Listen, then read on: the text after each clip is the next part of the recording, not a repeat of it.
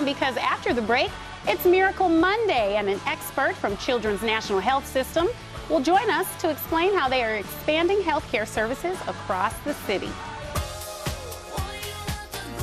Welcome back to Great Day Washington.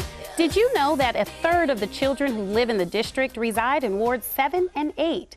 Well, to help them lead healthy lifestyles, Children's National Health System has a major presence in these neighborhoods east of the river, and they're looking to expand even more. Joining me now is Dr. Candice Dawes. She is Associate Medical Director of Children's Health Centers on Good Hope Road and Martin Luther King Jr. Avenue. Welcome, Dr. Dawes. Thank you so much for having me. Today. Now, this is exciting news because the expansion of the clinics allow for better care of kids with asthma. But I'm just curious, how prevalent is asthma in the District of Columbia relative to the nationwide average? So asthma is the most common chronic childhood illness, and approximately 15% of children within the District of Columbia are affected by asthma. And this is one and a half times the national average. Wow. Yes. So uh, there are one and a half times more children with asthma in yes. DC than across the country. Yes. And our ED utilization rate is four times the national rate of children who visit the emergency department for asthma. Wow. So it's really important that we have these services um, located in the communities where we really need it. So currently we have um, IMPACT DC, which stands for Improving Childhood Pediatric Asthma in the District of Columbia, located at our um, emergency room at United Medical Center and at our site at the ARC. And with expansion, we continue to have these services and add it to one additional site within our city. And just curious, how many kids and teens does Children's National Health System see on an annual basis? So we see about 9,000 children and adolescents per year, uh, per month, sorry. Wow, that, that's a lot. So you have a, a place on Naylor Road, mm -hmm. but you're moving in June to the Fort Davis Shopping Center. Tell me about the advantages of moving to a new location. Excellent. So that site will be moving in June. Um, the new address will be 3839 and a half Alabama Avenue, and this will be located at the Fort Davis Shopping Center. And at this new location, we have safe parking options. It is accessible via public transportation along the bus lines, um, and we're hoping to expand our hours there. That is so important. When you said parking, my, my son actually goes mm -hmm. to Children's, but it's in a Foggy Bottom and parking. And you have to like leave an hour and mm -hmm. a half just mm -hmm. to mm-hmm. find parking.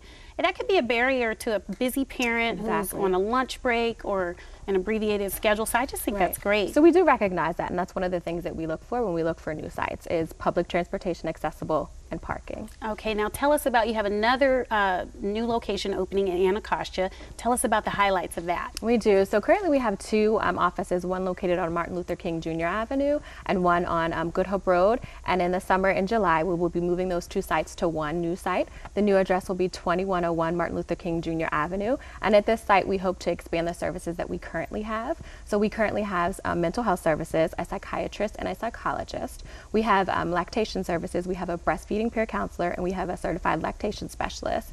We will continue to pro um, provide the services that we have for our well child care and we will also have um, some dental services and hopefully some hearing and speech services as well.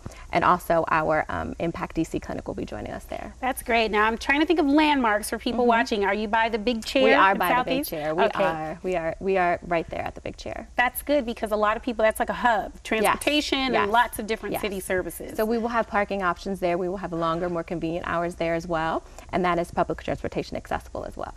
Great. Now tell us about the Arc because this is a place where you can get services from you, but you're expanding mm -hmm. there. Yes, we are. So next summer, um, in 2017, we will be expanding there. It's a $34 million expansion. Wow. And will afford us 92,000 more square footage in terms of office space. Um, our president and CEO, Dr. Kurt Newman, attended um, that groundbreaking ceremony as well as our mayor, Muriel Bowser, and that was in October. At that particular site, we will continue to have our health services there, but we'll also have some other um, services there. We'll have some educational services, and we'll also have a black box theater there. When I think about going to the doctor's office, um, sometimes you're, you're in a room, it's, mm -hmm. there's nothing to do, you're sitting there mm -hmm. for 30 minutes to an hour sometimes. Sometimes. Um, not all the time. Not all the time. Not, not you guys, yes. but some other doctors. um, but what I like about the ARC is I know seniors go and take dance classes mm -hmm. there. There are community events. So this is a place where the community can come together, get educated, but also check on their health. Exactly. So come visit us there um, now and then come visit us there next summer as well and we'll have more services there. 30, $34 million, $34 million expansion. Yes. Wow, so you're really investing in the communities We east really of are. the We really Anacostia are. River. We really are. Okay, tell people where they can find more information about all of your great services. So you can visit our website. Our web address is www.childrensnational.org backslash primary dash care. Well, thank you so much, Dr. Dodd. Come visit us Okay, we start, the next time I'm by the big chair, I'm going to be looking for you. Excellent. Thank you so much.